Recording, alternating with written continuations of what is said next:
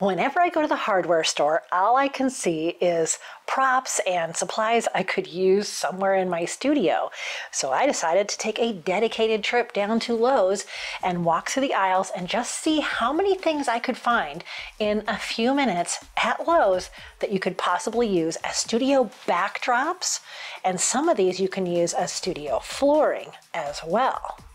So let's go down to Lowe's. So Monique here of Silver Paw Studio and founder of Pro Pet Photog. We just crisscrossed through Lowe's at random and the first thing that I saw were these plastic outdoor carpets. These are great because they're washable and they're pretty good size and pretty expensive. You can hang this up on your backdrop stand or attach it to a bookshelf or a door frame. And if it's slightly out of focus, it would look fun and texture. Just be careful of the shine on some of these materials. Just next to that were big giant patio umbrellas. And this time of year, they're actually on clearance. So maybe they could be where you're at but I've actually used big umbrellas as a backdrop for smaller dogs. You prop up the umbrella behind them and they stand under it and you get this really fun, colorful backdrop. Along the line of the uh, outdoor carpet is these washable rugs. They're very lightweight and thinner like a lot of the backdrop material we already use in our studios. But what's great about this one is it's fully washable. Throw it in your washing machine.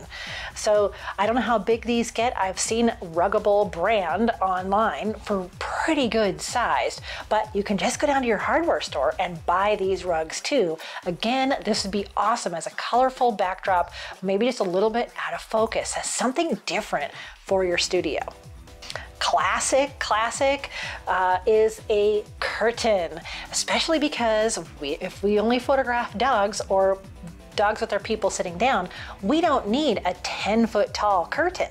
But there's all kinds of curtains in different colors and materials and textures. Just a huge, huge range of curtains. So the next time you're thinking of a color theme or a particular theme for any project you're working on, you might be able just to go down and find a curtain at your hardware store. Around that same aisle is roll up shades, and a lot of people use these outside on their patios but there's some really cool ones that are kind of reeds and bamboos. You can get more plastic ones that are super sturdy and washable. And just again, hang these on your backdrop stand in your studio. You could even hang them outside off of a fence if you're doing natural light portraits. Actually, a lot of these you can hang off a fence. You can clip them to all kinds of things. Just get yourself a set of clamps. Uh, I love these because of the really organic, natural look. Again, though, you have to be careful. Some of these have more of a shine than others. So if you're okay with setting up your lights just right where there's no hotspot or you know how to edit, keep that in mind with any of these things you find at the hardware store. Over in the flooring section, you can get these whole boxes of sections of click in like laminate wood looking flooring. And I know for us photographers, we often wonder what to use with the flooring in our studio. You can buy these, but why not make yourself a section? I know sometimes there's even these leftover from your own house build and remodels. So you might be able to find just the right shade of flooring that you're looking for and very sturdy, it's not gonna scratch, at your hardware store. Not only can you use it as a floor, you could prop it up and use it as a backdrop, a wooden backdrop. That would be super cool. In the door aisle, you can find unfinished hollow core doors that do not have the hole cut for the handle. So they're just basically a panel of wood. You could hinge two of these together if you had the space, but if you might have an extra door hanging out in your garage and you don't have to go down to Lowe's, but you can paint both sides or somehow finish both sides that. If you mostly do small animals, a hollow core door might work for you. Okay, we love this one. It's the paneling. If you think about paneling, I think of the 1970s with the fake wood panel with the dark brown and it looked kind of hokey. But that would work. You just have to be careful of the shine again. We found all kinds of cool looks from a whitewashed to a brick, and the brick didn't have any shine to it.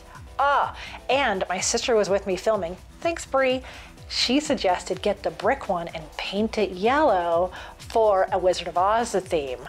Oh yeah, you're welcome for that extra little nugget. So all these kind of panels are so cool. And one of the things I love about getting like a large piece of wood or that hollow core door is things like wallpaper. So you could just put removable wallpaper or paint on any of these surfaces and you can have two sides. You can get that door, put two doors together, a big piece of plywood on a stand or attach it to a wall, however you want to use a big piece of wood, and put wallpaper on it. Or you could put wallpaper on one side and one of those uh, fake wood panelings or the brick paneling on the other. I've thought about making something like that in my studio where I have a big wall on wheels and you rotate it around to the other side. Yeah, and the last one is drop cloths, pieces of canvas. And the problem with finding this at Lowe's is they often have a seam. So if you're painting something on there that's extra busy, you might be able to get away with something with the seam. When I painted my backdrop here in the studio, I did end up buying it online because I really wanted something with zero seam. But just you can pull those out of the bags and see where the seam is. And if you have a small set, you might be able to make two or three different small backdrops out of canvas drop cloths. So those were actually 10 things we saw just in a quick, quick trip through Lowe's. And I know there's more. If you have other ideas, I'd love to hear them. Typity type it in the comments. I have so many things I have DIY'd around this studio that I'm gonna make a whole video on that. So when that publishes, be sure to watch it. I'll have it here on the screen at the end. But also, if you really want to make your own custom hand-painted backdrop with a canvas and just regular house paint, I made an entire video for you.